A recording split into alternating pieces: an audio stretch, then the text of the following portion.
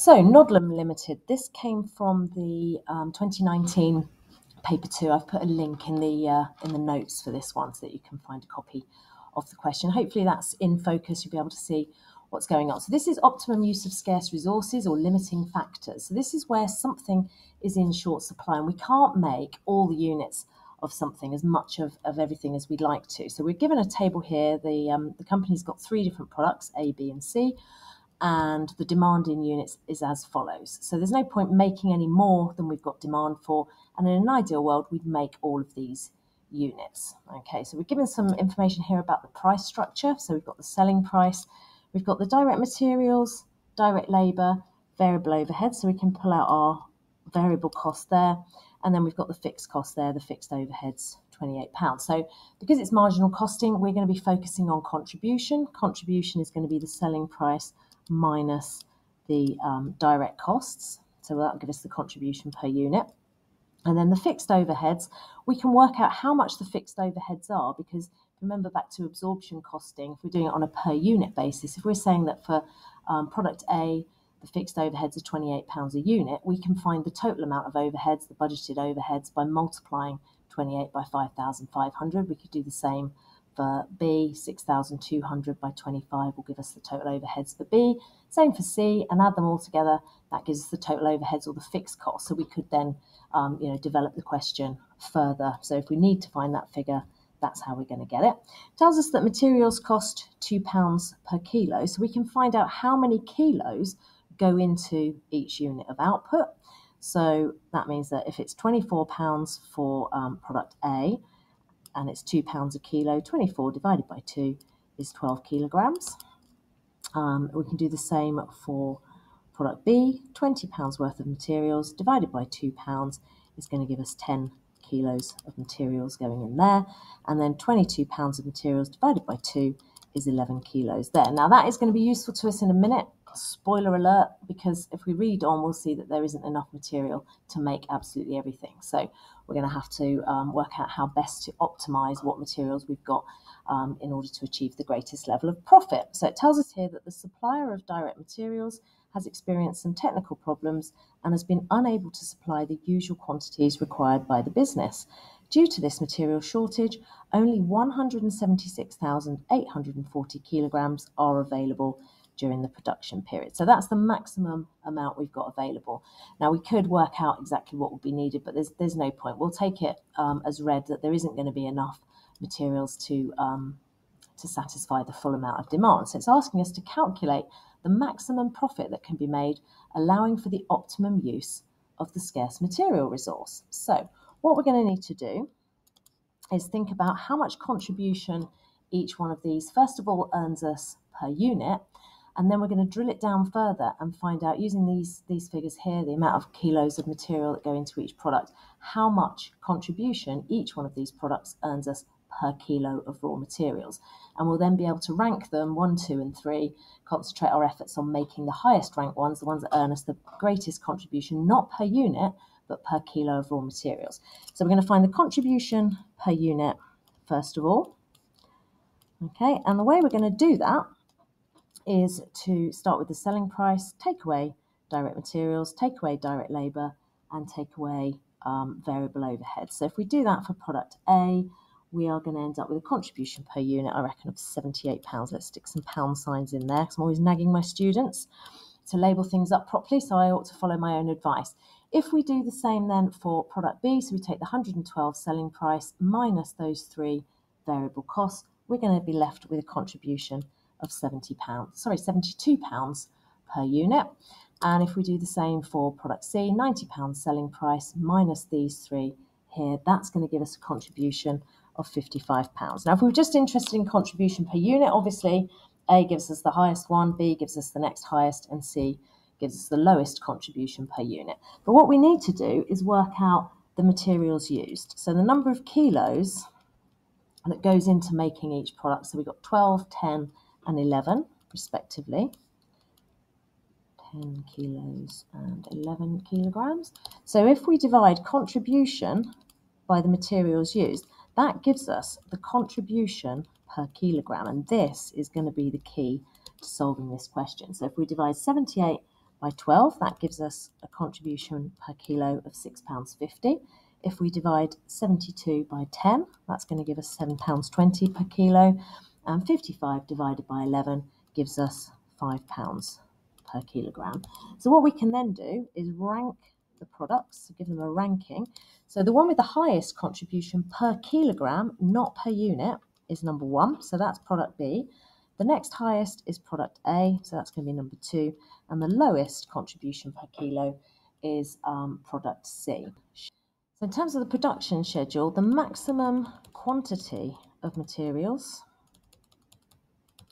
is up here. It's the 176, 840 kilograms. Okay, so what we've got to do is work out how we can best allocate that to the units of output. So we'll start with the product that was ranked number one, and the maximum demand for that is 6,200 units. So product B, we're going to make 6,200 units and each one is using 10 kilos. Okay, so 6,200 times 10 kilos means that we are using 62,000 kilos.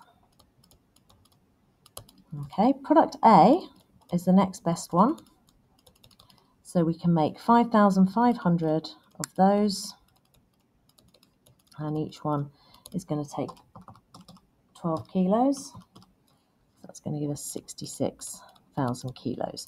Okay, now what we've got to do is work out how much we've got left. So the materials remaining, towards the end here of my page, I'm running out of space. So the materials remaining is the 176840 minus the 62,000 minus the 66,000, which is 48,840 and we're going to use those to make product C. Now product C uses 11 kilos, so product C we can make 48840 divided by 11 means that we can make 4,440 units. Okay, so that's our production schedule. 6,200 units of product B, 5,500 units of product A, the second ranked one, We've got 48,840 kilos left to make product C, which takes 11 kilos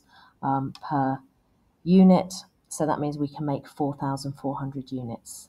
So 4,440 units. I missed a, a four out there of product C. Now, we haven't actually answered the question. It says calculate the maximum profit that can be made, allowing for the optimum use of the scarce material resource. Well, the problem we've got here, obviously, is that I've run out of of space. So I'm going to move on to a, um, yeah, because there isn't a, another page of that. I'm sure in the real exam there would have been plenty of space, but I just haven't printed off enough pages. So the profit from um, this production, so maximum profit, oops, I don't know what I've done. I've set the camera up so it's, yeah, not easy to read what I'm writing here. So let's work out the maximum profit. So contribution,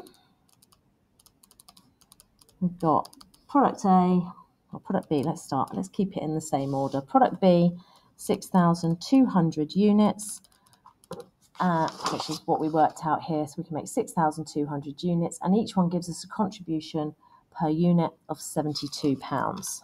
So times 72. So 6,200 units times 72 is 446,400.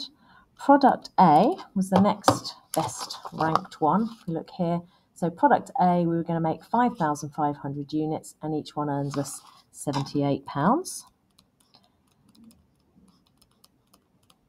So 5,500, just get the trusty calculator back again. 5,500 times 78 is 429,000.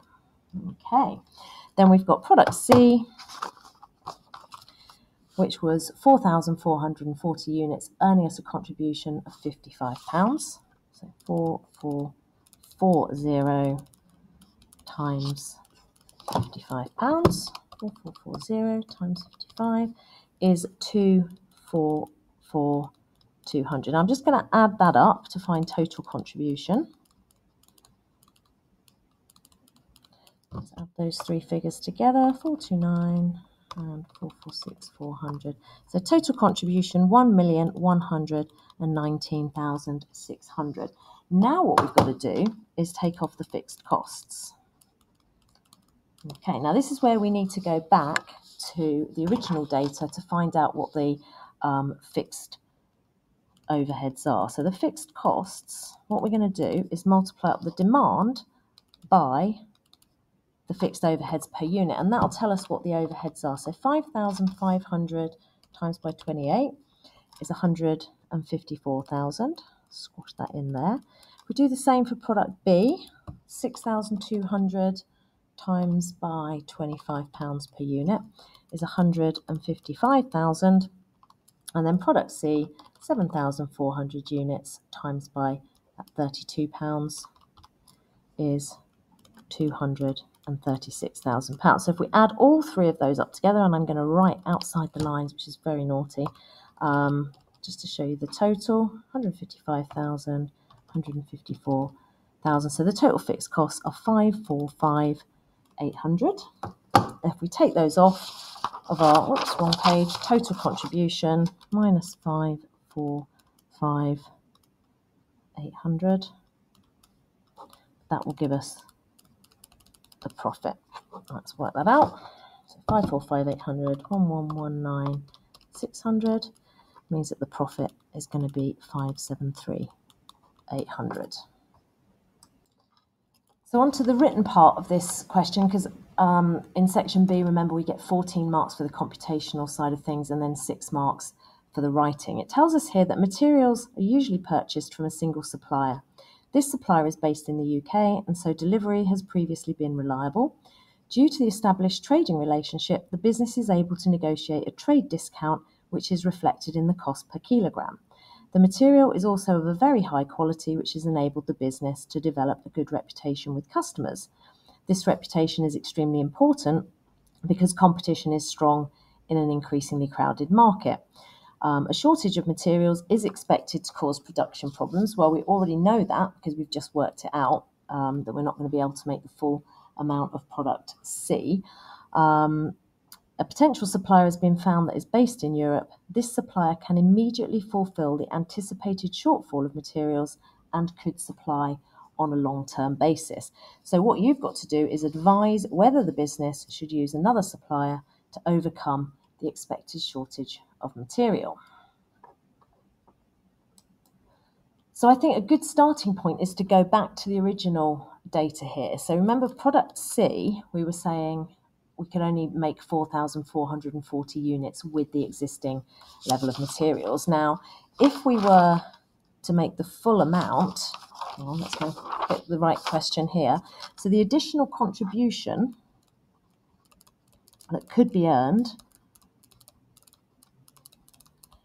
is going to be the difference between the 7,400, which is the full demand, and the 4,440 units that we um, can make of product C there. So it's an extra 2,000, what does that work out? 2,960 units, and each one is giving us a contribution of £55. So the additional contribution is going to be my calculator, 2960 times 55 pounds. So by doing this, we can see that actually, you know, it's going to be worthwhile um, doing. Obviously, that contribution may well come down if this new supplier is more expensive. So, um, you know, we'd need to find out exactly what they're going to charge. The other advantage is that we can satisfy the full demand. Remember, if um, we can't make enough of something, it tells us here that, you know, the competition is strong. So the chances are one of our competitors might come in, and if we lose customers for, for product C, we might lose our market share overall with the other products. Um, so customer satisfaction, being able to do it, is a big um, plus there. And we're also going to maintain our maximum capacity utilization because presumably these figures have been um, worked out based on our current capacity in our factory. So if we were only able to make 4,440 units, we'd be underutilizing the capacity. So we'd potentially have staff um, you know, with nothing to do. That's not a good situation. Remember, all the overheads are still there. They don't disappear just because we're making a lower level of output. Those costs are, are fixed regardless of the level of output. So, what we other things we need to think about um, uh, is it sensible to have all of your eggs in one basket? So at the moment, they usually get all their materials from a single supplier. Um, if something happens to that supplier, like has happened here, they're not going to be able to um, supply the full amount, then it helps to have other suppliers on board. So you're diversifying your supplier base, which has got to be a good thing. Um, in terms of arguments against doing this, obviously the cost is probably not going to be um, as cheap as our current supplier. At the moment, we're getting a really good trade discount. We've got economies of scale. If we're buying a much smaller amount here, it's likely to be more expensive. It's going to be potentially shipping charges um, and import duties and all that kind of thing. So we've got no, you know, potential bulk buying discount. We've got no trading history established with this supplier, and they may well sense our desperation and, and hike the prices up because they know we we need them. Um, so we don't know about the quality because we've got. Um, you know, the, at the moment, the material is of an excellent quality, very high quality. We don't know what the quality will be like um, of the uh, the stuff that we're going to get from uh, the European supplier. Obviously, if the quality suffers, the product suffers, brand reputation suffers, so all of those bad things. So that might um, lead to lower sales and lower profits um, in the long run. Um, and also, we don't know how reliable this supplier is going to be. The existing one is very reliable, got a great relationship, and so on. Um, whereas this one it's it's untested. So it could be great, but we don't know that. So you need to point out the pros and cons and then give advice. Um, and I think, to be honest, it's probably a bit of a no-brainer uh, by taking the um, supplier on. You're diversifying your supplier base, which is always a good thing. Not to have all your eggs in one basket, and uh, and you can satisfy demand. Um, but if you didn't think it was worth the risk, and you should just stick with the existing supplier, and you know, go with the lower level of output, then you could put that either answer would be equally valid, but make sure you don't sit on the fence with this one. You get splinters. Thanks very much for watching.